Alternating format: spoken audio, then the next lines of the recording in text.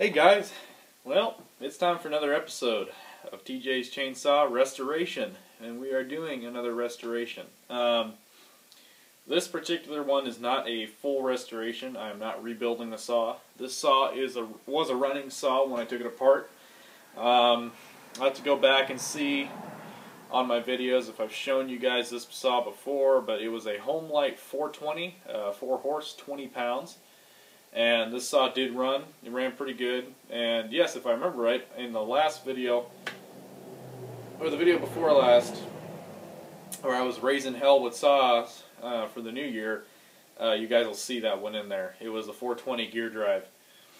And, um, well, I decided I had enough leftover paint, and Leon at Leon's Chainsaw Parts and Repair, who happens to live about two, probably two hours from me, um, gave me a can of the uh, more period, more correct color green paint.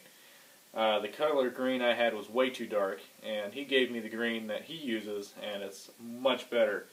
So as you can see, we've already gotten a fair amount um, done.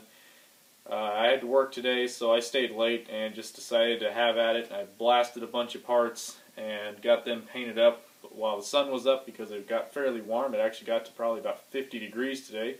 So, and I had a little heater on, blowing warm air on the parts, so it actually worked out really well. So here's a part for you. Um, this is the green I've gone with now. This is actually called Shimmering Green. It's from Duplicolor and it's a much better match than what I used on the 770 GS. Um, so this is a good start, and it looks a hell of a lot nicer. Um, so the saw is going to look really good. The red and green, of course you guys can't even see it, but the red and the green go very well together, and the clear coat did a good job. Um, I'm still using the Duplicolor Clear because that's what I have. I'm thinking this particular saw I'm just going to use as a show saw. Um, I don't think I'm going to run it. Um, I've ran I ran this gear drive saw enough to where I think I'm just going to call it good. Um, you know, because I I like to have one saw that I know runs, but I don't want to get a bunch of scratches on.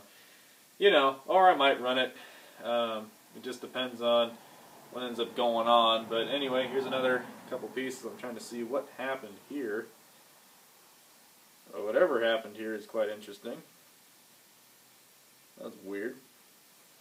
Anyway, we got the handle painted. I mean, we got a few other parts painted. I'm not sure if you guys can see in the... Yeah, I guess you guys can barely get it in there, but... There we go. We got the uh, gear case cover painted up. I went ahead and soda blasted the flywheel, so it, it cleaned it up, gave it kind of its original look. Um, Got a few more parts and pieces to paint here, so let me get you guys turned around and we'll show you what's going on.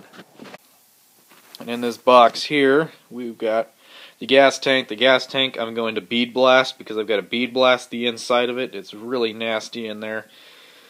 Um, I'm debating on what I'm going to do with the screen. The last one I did, I actually bead blasted it and then I just so uh, chrome painted it with the chrome paint and it actually turned out pretty decent, as you guys can see on this old saw. It looks pretty good. But here's the here's the color contrast for you. So this is a nice. Whoops, boy, this clear is still somewhat soft too, so I have to be careful.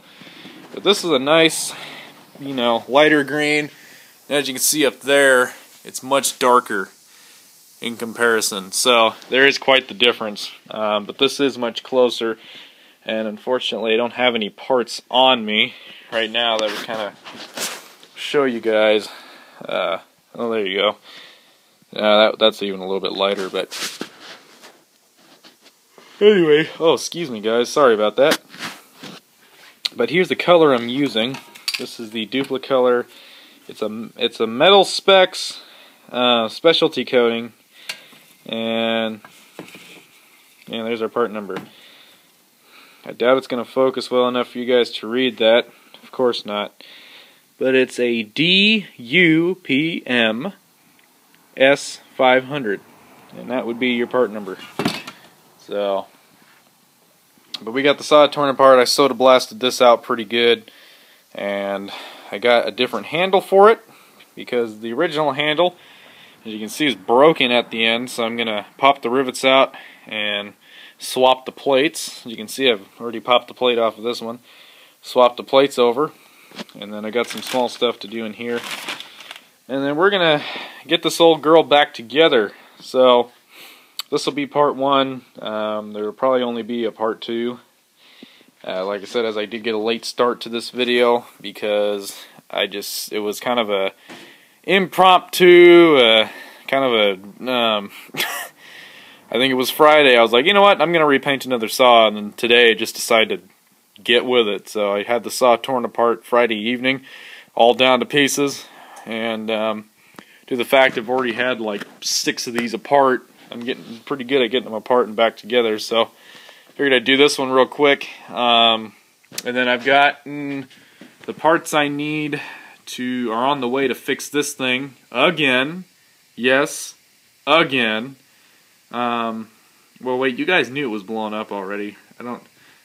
I'm not even going to bother to tell you what happened again. So this will be the third time I'm going to be fixing this saw. this thing. This one has been kicking me in the butt so many times. Um, so I've got another part saw on the way, and I'm thinking I'm going to re-ring it, rebuild it once more, and then I might turn this one into a show saw as well because it just doesn't want to stay running for me. Um, haven't even gotten a chance to run it with the bar and chain on it. Maybe it doesn't want this big of a bar and chain. Who knows? But this one, this one I will prevail even if I had to keep rebuilding the stupid thing for the rest of my life. It's just too cool of a saw. I mean, look at that, guys. It is just... I just love it. Every time I walk in... Actually, you know what? I'm going to turn this compressor off because it's going to turn on here. But every time I walk into this shop...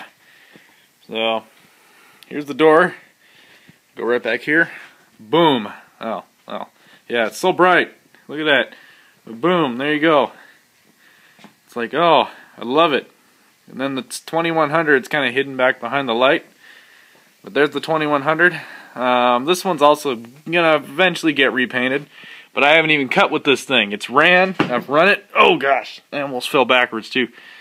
Well, this isn't any good. But I've ran it.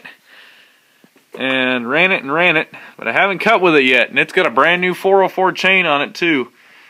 And the original roller nose bar. So I'm gonna have to get some decent weather so I can cut with these darn things.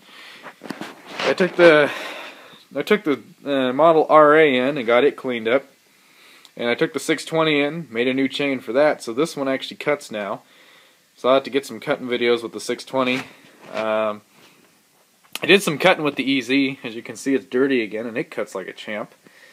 I got to do some more tuning on it, but it cuts really well. So, but I haven't cut with the C5 yet that's another one I need to get out and start cutting with. So there's some stuff to do.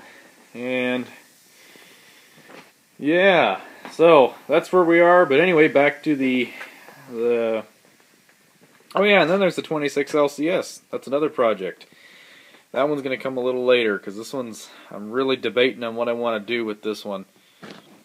Um, oh yeah, a guy mentioned uh, in the comments about just re-ringing it, and that's that's a good idea that's what I'm definitely going to do for now. Um, I forgot his name, and I'm sorry, man. I don't remember your name, but yeah, I, I definitely get. I'm gonna take your advice. I'm. That's what it's. What I'm thinking I'm gonna do. I'm gonna reseal it, re-ring it, run it for a while, cut with it, use it as a another saw, and then eventually I'm thinking I'm gonna repaint it. But I'm gonna because I this is too cool of a saw to just hang on the wall. Um, the older ones I don't mind hanging so much, um, you know, because it's it's kind of it's just cooler in my opinion. I like seeing being able to see them in good shape um, without you know because it's a labor of love. You spend a lot of time a lot of time on one of these getting them all prettied up.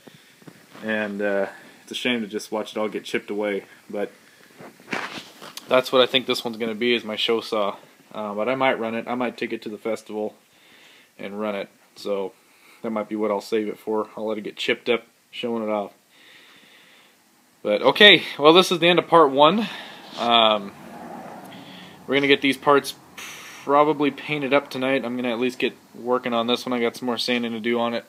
Get it hung, get it painted, and then uh, got some other stuff I gotta blast. So we'll get back to you guys. Alright guys, well I hope you have a great weekend and we'll get at you later.